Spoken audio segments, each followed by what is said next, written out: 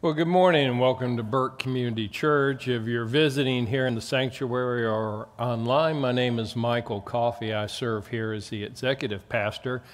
The senior pastor, Dr. Marty Baker, is away this week. He had a medical procedure, and you should keep him in your prayers. It sounded pretty painful. They basically did, a, I think, an industrial strength chemical peel on his face to take away some precancerous uh, spots, and it sounds pretty rough as I've checked in on him. And so that's always a thing of concern for us because it seems to be a, a struggle that he has to continually face, and so always lift him up. But he'll be back next week, and so if you're visiting, by all means, come back and uh, hear Dr. Baker when he's back here.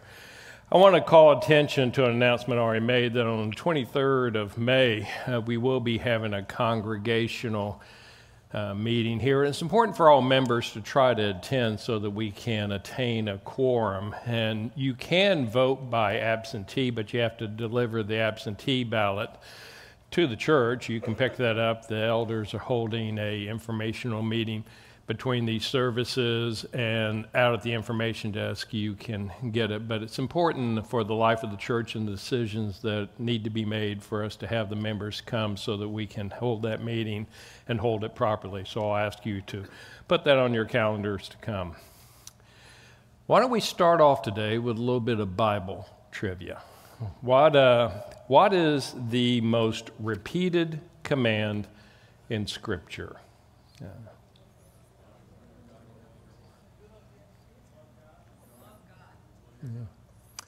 The most repeated command in Scripture is some form or variant of the command to not be afraid, not be anxious, fear not, peace, you know, be still. Uh, and like a lot of commands in Scripture, that one says a lot more easily than it does in real life. I mean, how are we supposed to live our lives without being anxious, without being afraid? How are we supposed to command how are we supposed to obey that command since it's the most repeated command in scripture? And I think the answer is found in the second most repeated command in scripture. You want to tell me what you think the second most repeated command in scripture is? Second most repeated command in Scripture is something like praise God or praise the Lord.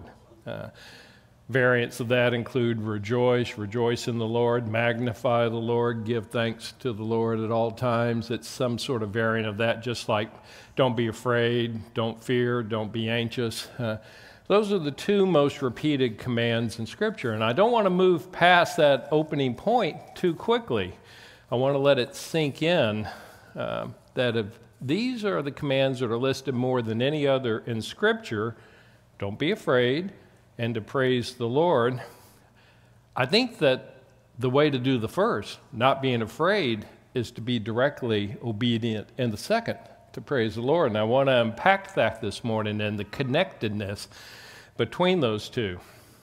But I would be the first as a pastor to acknowledge that many of you have trials. Some of you, because of physical ailments and difficulties in life and stuff, really, compared to me, who I feel like my life is blessed, uh, don't really ever seem to have a good day compared to the day after day goodness that I seem to experience. The suffering you face may feel torturous, the sorrow that you feel may be crushing. The fear that you have sometimes about something that's going on in your life might feel paralyzing. And what I love about the scripture is that it's the most truthful and most practical guide that any of us is ever going to encounter. And so when we face these sorrows, when we face these fears, when we face these trials and trouble, He's given us a perfect word for us to have so that we can face them and go through it and grow closer to Him. The scriptures are filled with completely unvarnished teachings about sin, sorrow, grief, pain, betrayal, failure, fear, wretchedness. And so I think that's why it's even more important to understand the second most repeated command to praise the Lord, to praise Him. I think God wants us to know that the simple act of praising Him has the power to produce hope and joy within us, even during painful times in our lives. I think that's why He repeated that command so much to praise Him, to rejoice in Him, to magnify Him, to give thanks to Him in all things. Now, you know, he repeats things as a kind Heavenly Father, and if you're a parent, you understand that. If something is important, you've certainly repeated it to your kids a few times, maybe for years. Well, He's a kind Heavenly Father, so when He repeats something, it makes me want to pay attention to it because I know that it's important. But I would not say that either one of these commands, even though they're the most important, I mean, even though they're the most repeated, are the most important. Jesus answered that for us when he said that the greatest of all the commandments are that we love God with our hearts, our souls, our minds, our strength, and our neighbors as ourselves. Now, interesting, he seems to have only given that command to love God with all that you've got, love your neighbor the way you love yourself. He seems to have only given that command once, and that was in direct response to somebody asking him a question of which of the commandments is the greatest. And so there's the answer. It's straight from the mouth of the Lord himself. But these other commands, a heavenly father, just like earthly parents, is repeating. And so it indicates importance to me, and I want to look at it. The way that the phrase to praise God is most often listed in Scripture is simply praise God or praise the Lord. And so let me ask the most basic of questions. When he tells us to praise the Lord or praise Him or praise God, what does He want us to do? I know he doesn't want empty lip service, which he's accused people that supposedly were followers of his of doing in the past. If you look at Isaiah 29, he says very plainly he doesn't want empty lip service while your heart is wandering off somewhere else or just going through the rote and the motion of some sort of religiosity. He says, Because his people who approach me with their words and they honor me with their lips, but their hearts, they're far away from me, and their reverence for me it only consists of the commandment of men. He doesn't want that. He wants sincere praise when he's telling us to praise him. What he's telling us to do is to truly look at him through the pages of Scripture and look at what he's revealed about himself there in those Scriptures and through our experience of walking with him, those of us who have known him as Savior for years, the experiences that he's already brought into our life until we finally begin to understand and see some aspect of the glory that transcends the mundane, the things that capture our attention, that snare our attention away, so that we look more and understand more of a glory about Him. And that glory then produces a joy that we can't help but express in praise. When we actually praise Him with true delight, for who he is, for what he's done, it not only glorifies him, it actually gives him pleasure. You want to give God pleasure? Obey this commandment to praise him, to praise the Lord. And then he uses that because the sincere praise, based on the glory that we're finally starting to understand about the Lord, our Heavenly Father, is very evident to others. And he uses that to woo them to himself too, out of the darkness, out of the pain, out of the hopelessness that they have. The command to praise the Lord is repeated both Old and New Testament. It's given a little bit over 250 times in some form or fashion in the scripture. That's how often he repeats it in some manner. And yet, I find that the idea of praising the Lord is oftentimes misunderstood. People think that just because they say praise the Lord or hallelujah, which is from the Hebrew for praise the Lord, that they're praising God. And I won't say that they aren't, but usually when you see a phrase in Scripture about praising the Lord, it's connected. It has itself wedded to something He's done or who He is. It has a specific action he's done or it has an attribute of his that he's being praised for. And to understand that, you know, all I have to do is take it down to a human level and you'll understand what I'm saying. If you wanted to praise your father for being a good father, you could just walk up to him or in the house with all your uh, siblings or your wife or whatever and say, Praise Dad. kind of falls a little flat without some sort of context uh, to the thing. But if you were to tell him, Dad, I really want to praise you because you're a man of love and compassion. Dad, I really want to just exalt you uh, for a moment because you've been a wonderful dad to me. You've always taken time to listen to me. You've always made time for me. It's a connectedness, and then it's a lifting up because of who he is and what he's done for you. It's the same here with your Heavenly Father. The command to praise the Lord is just that a command to praise Him. And by doing that, we're saying praiseworthy things about Him. And you find this regularly in the scriptures. James, back in the control booth, I told him he was going to have carpal tunnel syndrome because we were going to fly through a few scriptures here today. So if you blink, you're going to miss a couple of them here. But let's look at a few examples. In Psalm 117, it says, Praise the Lord. Why? Doing a connectedness here. Why? For his merciful kindness is great toward us, and the truth of the Lord endures forever. Psalm 150, praise him. Why? for his mighty acts. Praise him according to his excellent greatness. Isaiah, we're told, I will praise your name. Why am I going to praise your name? For you have done wondrous things. Jeremiah, he says, Praise the Lord. Why? For he's delivered the life of the poor from the hand of evildoers. In the Gospel of Luke, it says, All the people, when they saw it, it, what is it? It was the healing of a blind man. When they saw it, spontaneous praise erupted to God. It's a praise for who He is and what He's done. So you could say that I think praising God is more than just a feeling.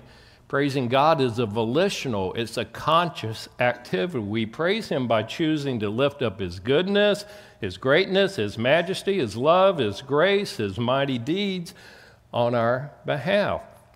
And so I don't think that merely saying the phrase praise the Lord or hallelujah is probably the best way to praise the Lord. That's just my opinion. I think it's better to praise the Lord with a conscious admiration and thanks for who He is and what he's done. So the next time somebody comes up to me and says, Praise the Lord, I'm going to probably say, Because he's good. I'm going to go ahead and help them out. They just commanded me to praise the Lord. I'm going to do it, but I'm going to do it the way I see in Scripture that, well, let's put something on there because he is good, because he's great, because he's all powerful. So that's one way that it, he repeats and he says that we are to obey, and that's to praise the Lord. Another way that's recorded in Scripture is with the word rejoice. So praise the Lord or rejoice, it's just a variant of it. And when he commands us to rejoice, what does he want? Same question I asked about praise the Lord. What does he want? Well, here again, we're going to fly through a few scriptures. He wants us to remember that no matter what happened, God loves us, he died for us. He sought us while we were still sinners and enemies toward Him. Romans 5 8. He wants us to rejoice always that though a mother may forget her nursing child, if such a thing was possible, it's not possible for Him. He is incapable of ever forgetting that He has claimed us as His own, according to Isaiah. He wants us to rejoice that nothing will ever separate us from his omnipotent love for us in Christ. Romans, excuse me, Romans 8. And Romans 8 continues that he will work all things together for our good. And a promise in Philippians 1 that he is going to complete the good work that he has begun in us. What is there not to rejoice about? This is just a handful of verses in the scripture. Praise the Lord and rejoice in him Always.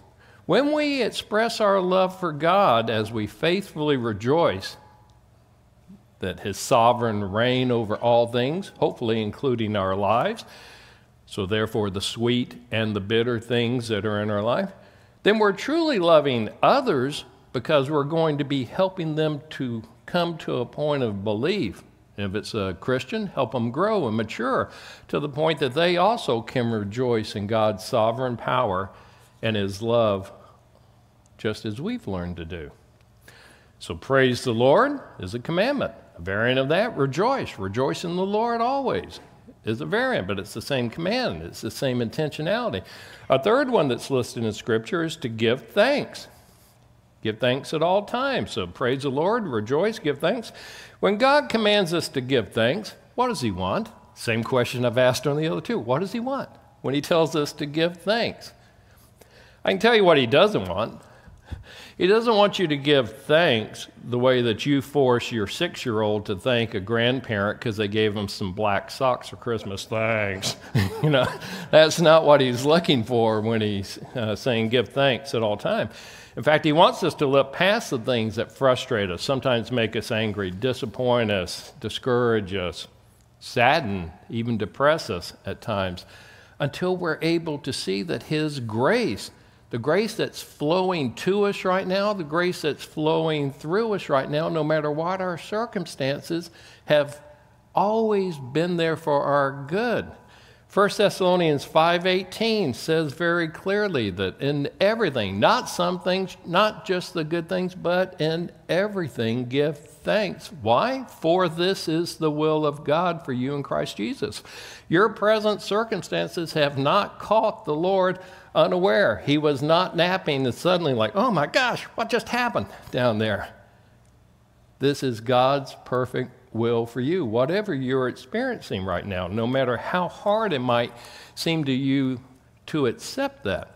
That's why I love the Psalms as Marty has been leading us through that, because so many of the Psalms of David, when he's done nothing wrong, but he's being hunted, he's having to live this homeless existence in the wilderness. He's got all this ragtag band of people that have got all sorts of issues that are looking to him to take care of them and lead them. He's got trials and troubles, and he comes very close to death time and time again as a mad king is after him. And so, so many of the Psalms start off pretty much the same way that, hello, do you realize what's going on down here? Do you see the plight I'm in? Do you see how much trouble is visiting upon me and how much danger I'm in? And let me help you, God. The dead don't praise you. So, could I start to reflect about the goodness of the Lord, how He's delivered me, how I'm still alive, how He cares for me? And then the psalm ends in giving thanks even in all things. Now, the next psalm might start the exact same way Hello, do you understand what's going on down here? But then he works through the same pattern of reflecting and remembering and meditating, and it yields to giving thanks and rejoicing in the Lord. Because it is possible to praise the Lord to rejoice in the Lord, to give thanks in the Lord in hardship. Let me repeat that. It is possible to praise the Lord in hardship. In one sense, as I already said, it's a choice, it's not a feeling. It might become a sort of personal battle cry. When our run is slowed to a crawl, our shout has died down to a whimper, we can still wait on our good Heavenly Father with fierce expectation. He is faithful and He is true. If we can't praise Him for our circumstances, we can learn to praise Him while we are experiencing our present circumstances. When I first went into the ministry, I worked as a missionary with a collegiate group called Campus Crusade for Christ. Now it's called Cru. And I was working down here at Virginia Tech at this illustration I'm about to tell you. And God decided to knock some rough edges off of me early on in my ministry life uh, to make sure that I was, I guess, doing ministry for right reasons, other things to mature me for whatever reason. In His infinite wisdom, I don't know that I'll ever know until I'm actually with Him all the reasons. But one of the things He decided to do was to give me the actual worst financial support team in the history of missions. I you know, Campus Crusade deliberately kept you on a salary basis down around poverty level. That was intentional. Anyway, I didn't even have that. There were a couple of years I was living on around $10 a day because People, most of my supporters who had pledged $5 a month would not even send the $5 a month in. And it was a rough time. I won't kid you. And I, I would cry out to the Lord, What are you doing? I'm just trying to serve you. And so I'm driving a uh, male college student from point A to point B uh, down there in Blacksburg. And in my wrecked Pinto, which is a fire trap anyway, and it's wrecked on three sides, and we're sitting at a traffic light. And suddenly, the clutch cable, uh, you know, all you guys that really like to work on cars, it just snapped boom, the clutch, you know, limply falls to the floor. The car lurched about three times and died about part of the way in the intersection.